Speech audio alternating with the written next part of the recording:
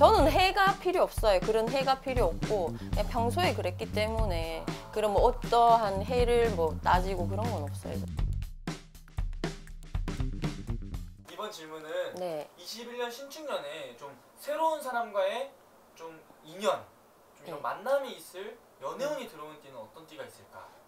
굳이 또 뽑으라고 네. 하면 쥐띠, 원숭이띠, 토끼띠요. 어, 그렇게 세 띠? 네. 어, 좋아요. 어, 쥐띠 중에서는 26, 내년 38. 오. 어, 이분들이 조금 연애운이 좋아요. 어떠한 우연한 기회에 이렇게 만남이 이루어져요. 근데 또 이제 어, 떠나갔던 좀 그리웠던 연인이 돌아오는 시기도 돼요. 오. 어. 옆에 이제 지금 당장 이제 연인이 있어요. 네. 이 연인 보고 헤어지자라고 해도 이 연인이 안 떠나가는 그런 해일 수도 있어요. 아, 아. 음, 음. 그런 상황은 선생님이 좀 음. 인기가 좀 많다 보니까 네. 선생님이 좀 많이 겪으셨을 것 같아요. 어, 저는 당연하죠. 음. 어, 네, 그쵸, 그쵸, 그쵸. 어.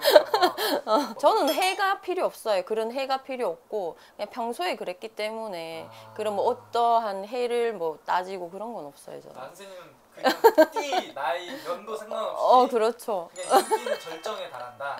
네. 기가 막히시네요. GT분들한테 선생님이 네. 좀 그런 맞선 자리에 나갈 때 행운의 색깔 포인트 하나 알려주면 좋을 것 같아요. 파란색. 어, 조금 저는 원톤 이런 걸 좋아해요.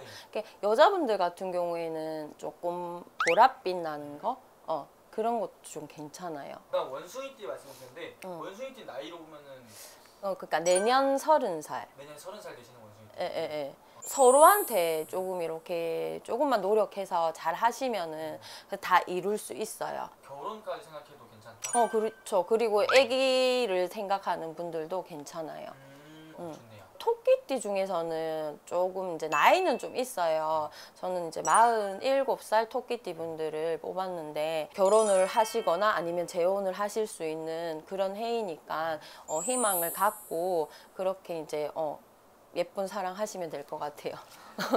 응, 응. 토끼띠 분들 중에서 응. 결혼을 안 하거나 이혼한 상태인 분들도 많겠지만 네, 네. 아직까지 결혼 생활을 하고 있는 분들 중에서도 네. 연애운이 들어오는 경우도 있을까요? 어떻게 보면 바람이죠. 네.